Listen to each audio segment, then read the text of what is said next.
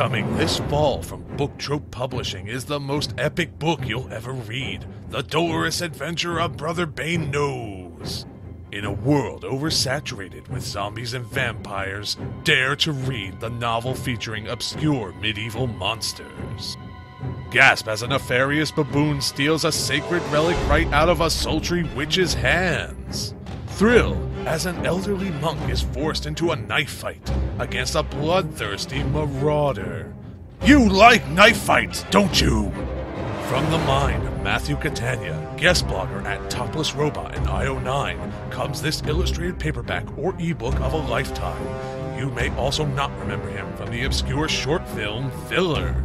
This is one novel that's not afraid to finally answer the tough question.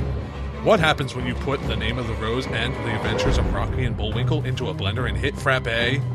The dolorous adventure of Brother Banenose is like a face melting movie you watch inside your head. But this time you're unlocking the fundamental power of reading. Once you've read The Dolorous Adventure of Brother Bane Knows, nothing will ever be the same. You can't afford not to buy it! Created using Powtoon.